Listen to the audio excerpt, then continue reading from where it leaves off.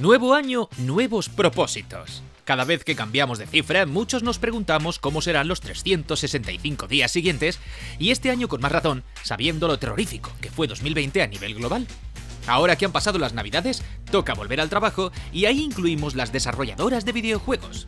De algunas de ellas ya sabemos qué es lo que tienen entre manos para este 2021, un año muy importante para la nueva generación de consolas, pero ¿qué están haciendo las demás? Desde Meristation hemos querido repasar esas desarrolladoras conocidas que aún no sabemos qué es lo que tienen entre manos y llevan un tiempo sin mostrarnos nada. En los siguientes minutos hablaremos de qué es lo que han estado haciendo antes de su último lanzamiento y por qué esperamos su nuevo proyecto para 2021.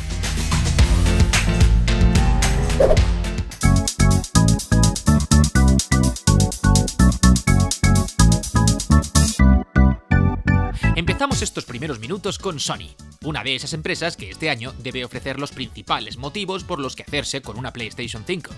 Así pues, Naughty Dog sería la primera por ser la desarrolladora que ha nutrido casi siempre los inicios de una nueva consola. Por la reciente salida de The Last of Us 2, no tendrán ningún proyecto de gran envergadura para este año, pero es probable que acabemos viendo un nuevo DLC para la aventura de Ellie tal y como ocurrió con la primera parte.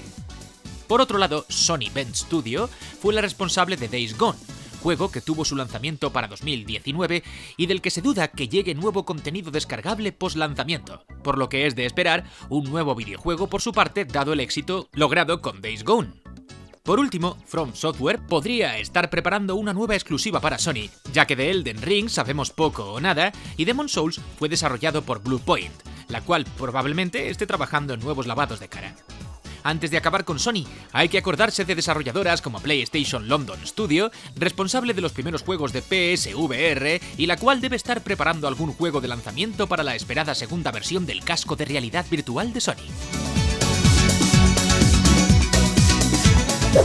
De Microsoft se espera mucho este 2021. Tras el retraso de Halo, Series X se quedó sin esa gran exclusiva con la que estrenar la consola, aunque es probable que veamos al jefe maestro con una mejora sustancial a la vista en el último gameplay trailer.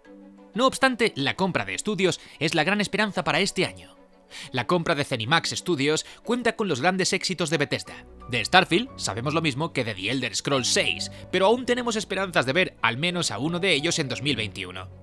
Aunque Arkane sabemos que están con Deathloop, ya se ha confirmado que están trabajando en un nuevo proyecto que no tardará en ver la luz, mostrando lo que hacen en exclusiva para Microsoft. De Obsidian se espera nueva información de About, su nuevo videojuego anunciado el año pasado. Pero lo que más esperan los fans, y que no tendrían problema en hacerlo tras su insinuación en Twitter, es una nueva entrega de Fallout New Vegas. Por otro lado, se esperan nuevos anuncios de compañías como The Coalition, encargados ahora de la saga Gears y que solo nos ofreció el año pasado Gears Tactics.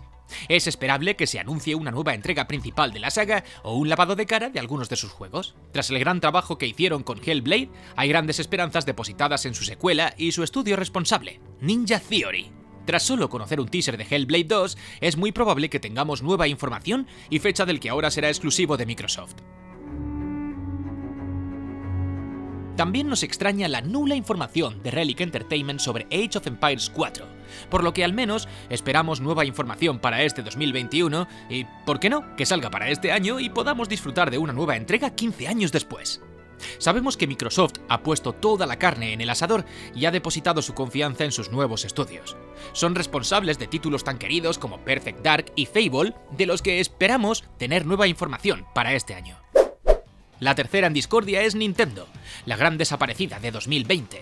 El hecho de serlo es el motivo por el que se espera tanto de ella este año, dada la falta de información de en qué han estado trabajando sus principales estudios y la cantidad de aniversarios que se cuecen en sus oficinas.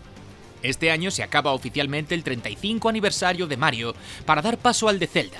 Se espera que Nintendo haga una jugada similar y cree una recopilación de los juegos más queridos de la saga, sin tampoco olvidarnos de que ya llevamos más de dos años sin nueva información relacionada con la secuela de Breath of the Wild, una entrega que sería la guinda en el pastel de este 35 aniversario. Y si hablamos de Zelda, no podemos olvidarnos de Monolith Soft, un estudio que se ha ganado la confianza de Nintendo a base de un duro trabajo. Al margen de la ayuda, este estudio sigue creando juegos, y aunque por el momento se ha centrado en la saga Xenoblade Chronicles, se espera algo totalmente nuevo o el deseado remaster de Xenoblade Chronicles X. Una de las noticias más importantes de estos últimos días es la adquisición de Next Level Games por parte de la Gran N. Tras el excelente trabajo que realizaron con Luigi's Mansion 3, esta desarrolladora se ha convertido en una gran aliada de Nintendo y es probable que ya estén trabajando en un nuevo proyecto juntos. ¿Tal vez el regreso de Mario Strikers? Y hablando de Mario, no tenemos noticias de Mario Luigi desde que Alpha Dream se declaró en bancarrota.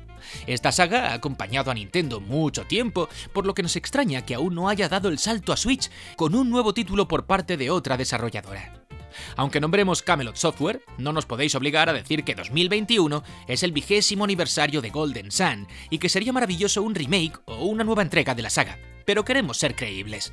Esta desarrolladora hizo el notable Mario Tennis Aces hace dos años y no nos extrañaría ver un nuevo título de deportes o, por qué no, una nueva IP.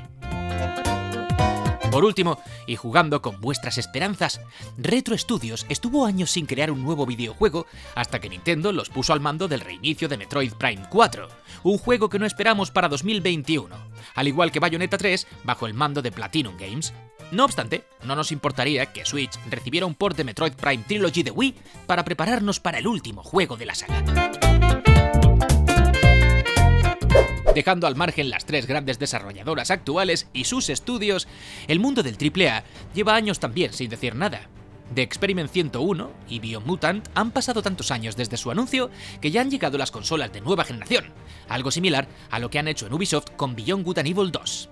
La saga de Batman también caló en el corazón de muchos jugadores, y aún nos extraña la falta de información de Rocksteady en referencia a nuevos títulos.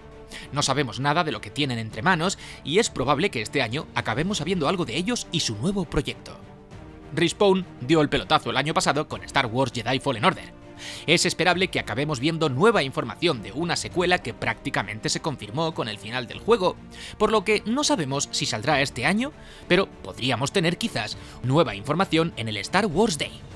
Para finalizar, y alejándonos de toda esperanza, Massive Entertainment lleva tiempo sin pronunciarse sobre el juego de Avatar, aunque es esperable que no sepamos nada de él hasta que James Cameron dé señales de vida de la secuela cinematográfica de Avatar. Como veis, hemos omitido estudios que han sacado recientemente un nuevo juego o que ya sabemos en qué están trabajando como Sony Santa Mónica o 343 Industries. ¿Habéis echado en falta algún estudio? No dudéis en comentarlo.